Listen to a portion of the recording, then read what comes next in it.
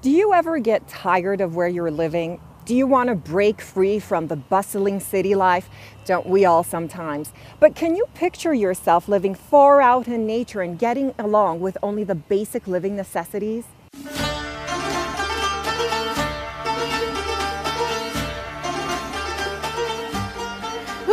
Doesn't want to get away from the hustle and bustle of city life? Reconnecting with nature is indeed a calming experience. And there are tour agencies in Iran that have set up camps, such as this one, for that purpose.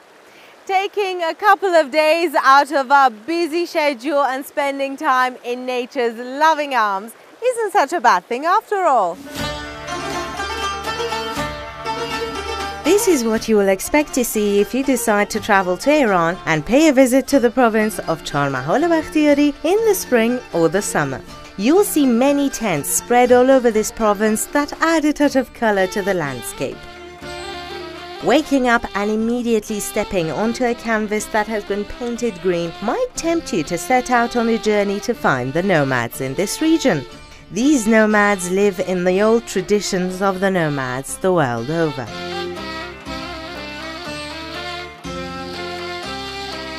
The Chaharmahal Bakhtiari province houses the second largest population of nomads in Iran. A large number of the nomads who live in this province belong to the Bakhtiari tribe, but their living and grazing grounds aren't just limited to Chaharmahal Bakhtiari. You can also find the Bakhtiari tribe in neighboring provinces, depending on the season you visit them. The nomadic lifestyle is slowly fading away since the younger generations are more attracted to the modernity in cities and large towns.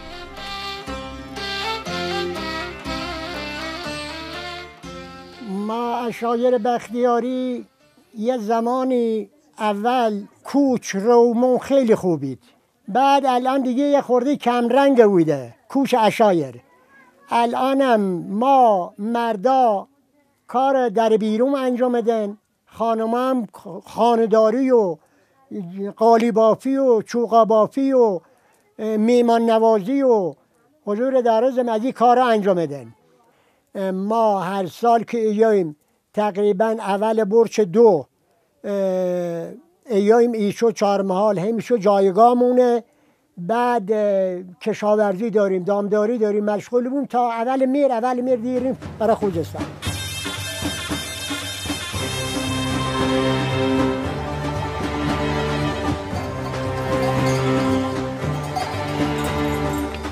If you're a nomad, your day starts really early in the morning. Women are considered to be the main pillars holding their family together and have many responsibilities.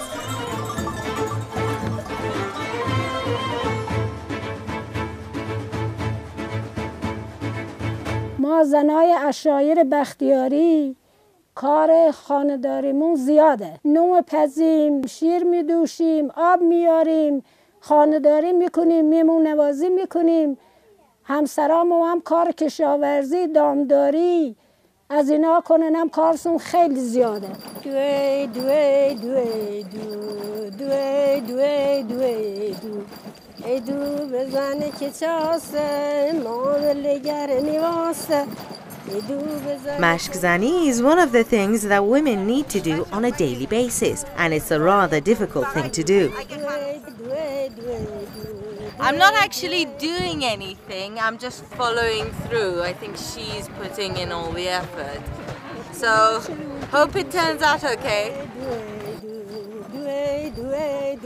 After pouring milk in a bag made of goat skin that we call mashk, it's suspended on a tripod at this point, two women begin to shake the mashk back and forth repeatedly until butter is separated from the milk and floats on top. Usually, women sing traditional songs while they're working, making the process an enjoyable one.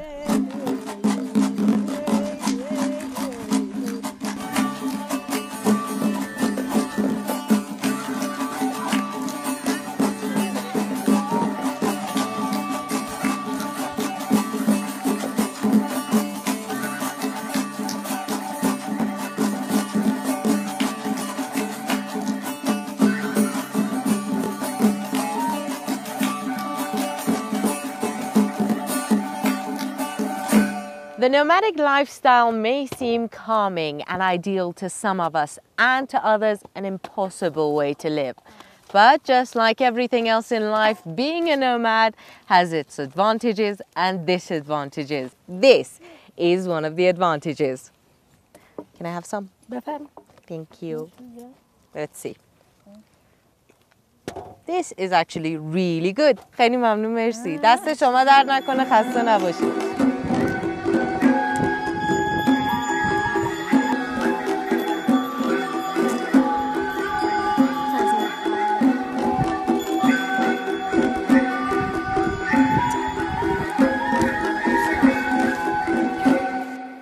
مشکلات زندگیمون خیلی سخته بمون ولی خوبی هم داره آب هوایی هم داره. گوست گوسفند می‌خوریم روغن محلی می‌خوریم کش درست می‌کنیم می‌خوریم. دیگه آب هواس خوبه.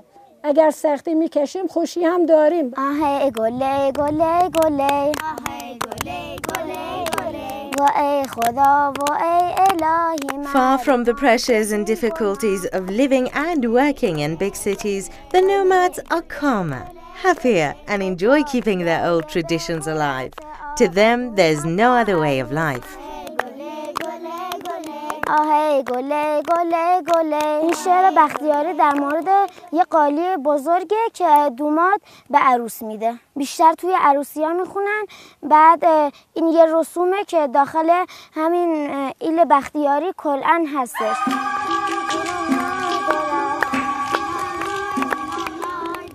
با شیر باها چهارصد تومن نکم نه بیشتر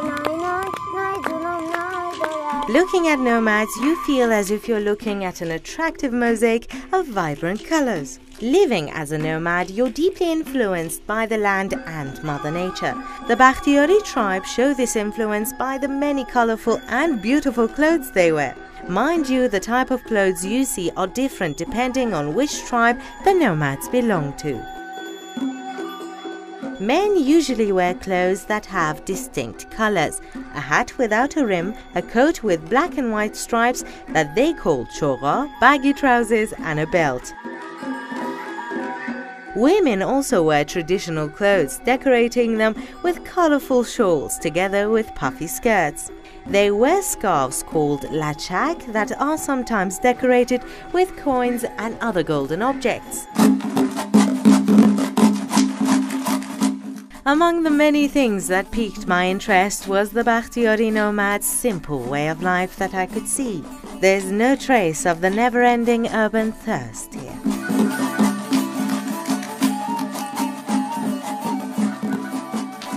As a nomad, you have no use for extravagance. It's just like when you're packing for a trip.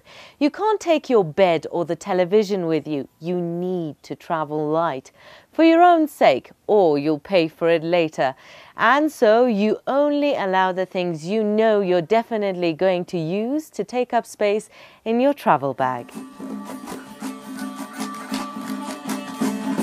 What little furniture they have in their tents is made by the delicate hands of the women of the tribe.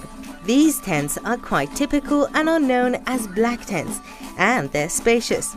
The black tents or siyah chadors in Farsi are waterproof and also serve to protect the family from harsh winters. And in the summer, the sides of the tents are raised to let in the breeze and provide a comfortable resting place to put your feet up. این سیاه چادرها که ما داریم از می بزن پشم بزن قیچی سون میکنیم با چهره بعد میگشکنیم سون با دست. میگشکنیم سون بعد میگردیم سون و تاب سو میدیم. بعد میبفیم سو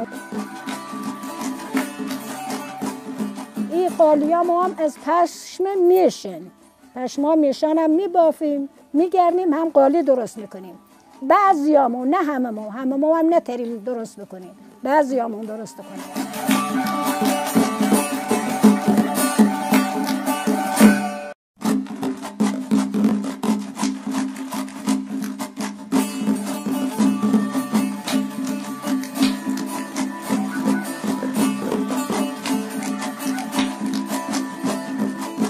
Another thing you're most likely to enjoy is the nomads cooking. They put their heart and soul into the food they make. They may taste different, but from different types of baked bread to fish and lamb kebabs, they're all really good.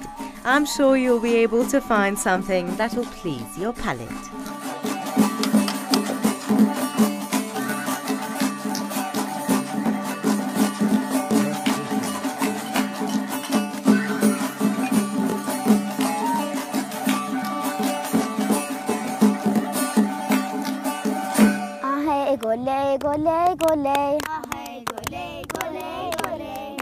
خدا و ای الهی مری ما کردیم گناه Life is like a canvas.